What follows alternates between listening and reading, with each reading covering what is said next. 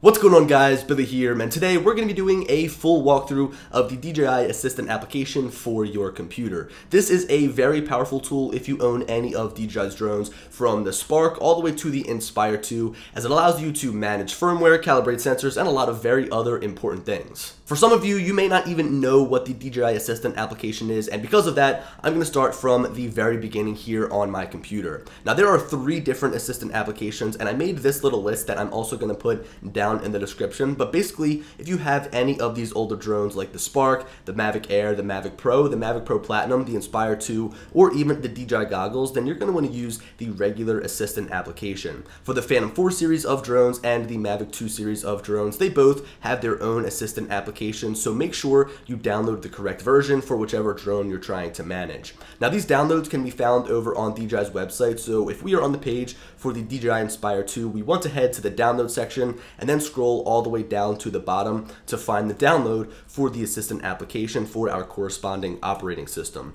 Remember, this app can be used with all of those older drones, so even if you have a Spark, this link will work. Now, if you own a Phantom 4, you'll do the same thing on the Phantom 4 page by selecting downloads and then choosing the correct version for whatever operating system that you're running. By now, you probably already know the deal, but the same thing goes for the Mavic 2. Select downloads, and then it'll be right there. All right, cool. So these apps vary a little bit between the different versions, so I'll first go over the Assistant app for the older drones, and then I'll move on to the Mavic 2 series and then the Phantom 4 series, but I would recommend watching the entire video through as I won't be repeating the similarities in depth once I get to those other drones like the Mavic 2 and Phantom 4. So to connect your drone to the Assistant application, we have to tether it to the computer through a cable, and for the sake of these older drones, it will be a micro USB cable. Once the drone is all plugged in and turned on, the Assistant application will recognize the device and you can begin to access some of the functionalities. Now the menu over here on the left side of the screen will show us everything that we can do within the Assistant application and we'll start up here at the top with firmware update. This is pretty self-explanatory. It allows you to update to the most current firmware for your drone or even downgrade if you wish.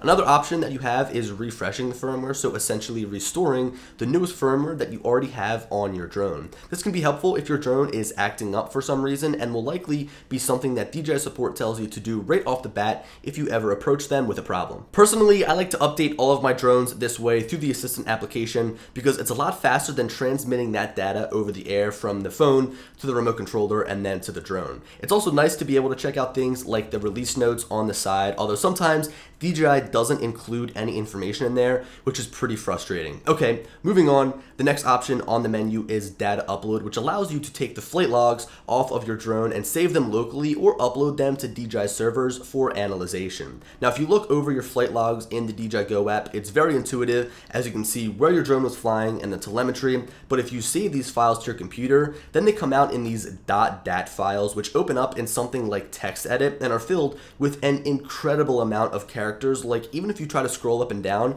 your computer will likely freeze up. I would say that this function is primarily used to send data to DJI through their report data file button at the top. And to do this, you'll have to log into your DJI account. This is useful in situations where say your drone goes totally haywire by itself, it falls out of the sky and you have no idea what happened. They can then analyze these files and determine what happened. Now this next page on the menu screen, which is known as flight data, sort of allows you to open these .dat files, but it just does not work. Maybe I'm using it wrong, but I've gone to multiple forums and people just can't seem to get it to work. Now because of this, I've come up with a workaround or another solution, and it's a website called AirData UAV. I'll leave a link down in the description. This software essentially takes those .dat files and turns them into something that you can actually see. So I've already uploaded one here, and as you can see, all the information that it gives you, like battery temperature, maximum distance takeoff, and land battery, I mean, it shows you some incredible data and it's not as pretty as the flight logs viewed from the DJI Go app, but it does give you a whole lot more information to look at. Anyway, jumping back to the DJI Assistant application, the next option that we have is the black box tab, which isn't filled with really anything except for the save to local button.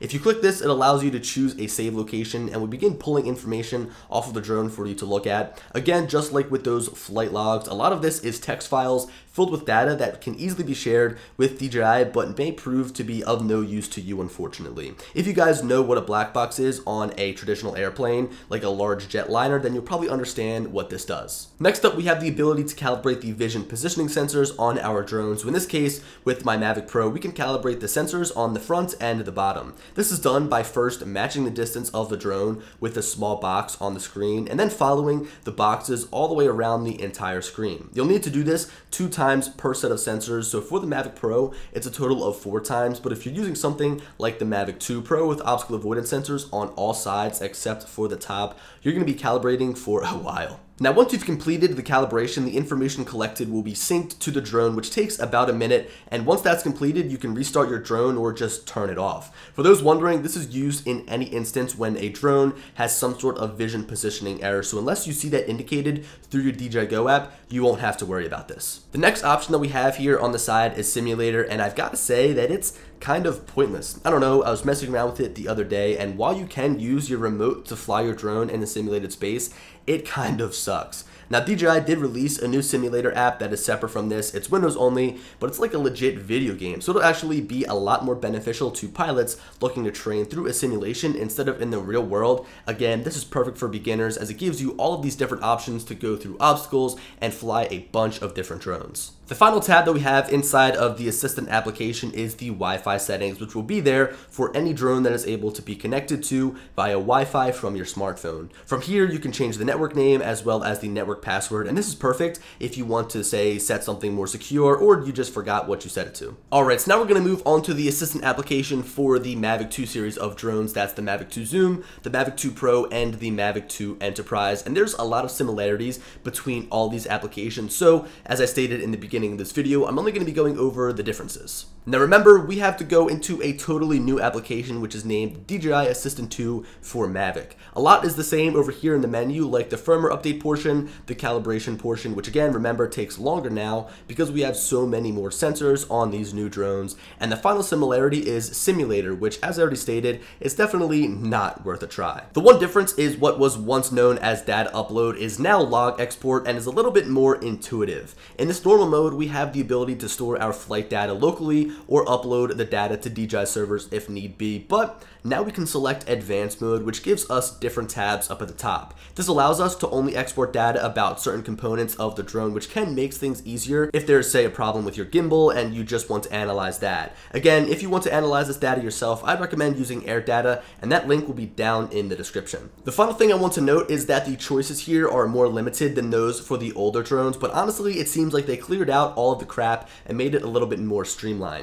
Now to wrap this up, we want to take a look at the Phantom 4 Assistant application, which is nothing different than what we've already seen. So the options that we've got are firmware update, data upload, flight data, calibration, and simulator. All things I've already gone over, but in their own separate app for the Phantom 4 series of drones. So that's the Phantom 4 Standard, the original Phantom 4, and then the Phantom 4 Advanced, and the Phantom 4 Professional. Oh, and also the Phantom 4 Pro version 2.0. So guys, there we have it. That is the full walkthrough of the DJI Assistant application for DJI's current lineup of drones. Personally, I think it is a very powerful tool, and if you own a DJI drone, you should know your way around it, and hopefully after watching this video, you do. I'd recommend downloading it for your computer. It's a pretty small file, and it gives you a lot of these powerful tools, and then also in combination with other applications like AirData, it really does give you a lot of beneficial things to look at. I do kind of wish that DJI would implement some different things into the actual actual assistant application itself, just some different features to really make it seem even more powerful and honestly like a must-have for anyone who owns DJI drones. Uh, but guys, hope that you enjoyed the video. Be sure to let me know if you have any questions down in the comment section below. And as always, I'll talk to you later. Peace.